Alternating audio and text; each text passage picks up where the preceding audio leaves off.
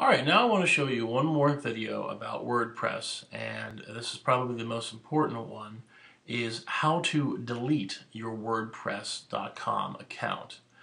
And why would you want to delete your blog posts? Well, there's many reasons why you might want to delete your posts and your site entirely. If you are not able to continue posting and you have you're very infrequent with your posts and you just don't want to have that information out there any longer, you might want to consider deleting your posts and your whole entire site. Uh, for professional reasons, you might want to delete your site if you are only attracting negative feedback and it's just becoming too much and too much to handle all the time. Blogging does require a considerable amount of time and effort to write the posts and to follow up after them and to continuously put out content for people to read. But managing um, you know, comments can be a little bit overwhelming, especially if you have a very popular uh, blog. So the thing about with deleting a blog site is that once you've deleted it, you can't retrieve it. So think about when you think about deleting your blog, think very long and hard about your workflow before you do it because you might want to change your workflow of how often you post and how you're going to reply to comments. So if you can change that, then you might be able to have a, a much easier way to deal with your WordPress blog.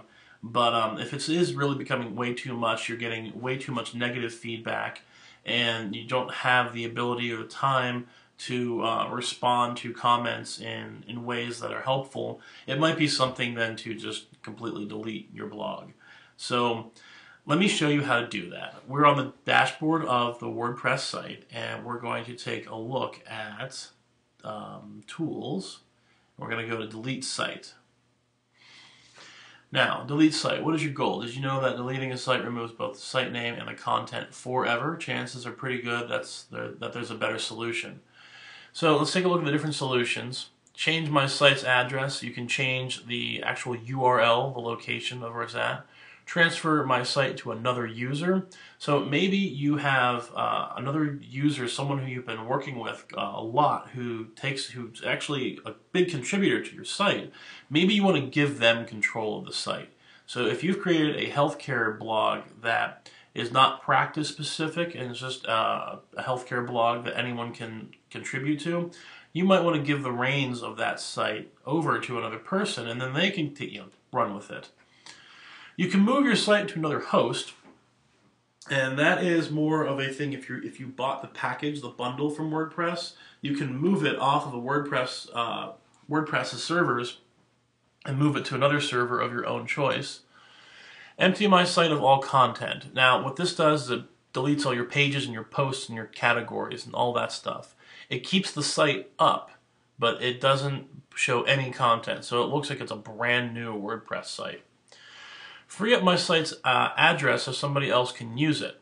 So if you've seen, I have this, uh, the name of my, my test site here is called Asriel Group Productions. It's a very unique name, but you know maybe somebody would like to use that name in the future. So I could basically rename my site's name and free it up for somebody. Or I can permanently delete my site's address and all content. This is the, the final nail in the coffin. This is what would get rid of the name and anybody else can then use it afterwards. This is what would delete all your information on here and then you would have no more uh, mo no more blog content, no more blogs on, uh, on WordPress. So that's what we're going to do. We're actually going to permanently delete my site's address and all content. And we're going to click that. And then as I do, um, as I go through the process here, you'll see that dynamically changes the information here, and you want to read through everything. So this is what happens when I click on permanently delete the content. If I choose to change my site's address, move it to another host, it, it prompts you and gives you directions on how to do stuff. So I'm going to permanently delete. If you do not want to exist anymore, you can delete. This cannot be undone. This is permanent. All post data and site's address will be gone forever. So I want to permanently remove this site and I'm aware that I can never get it back or its address back. So I am going to click this and then I can write and tell people why I'm getting rid of this.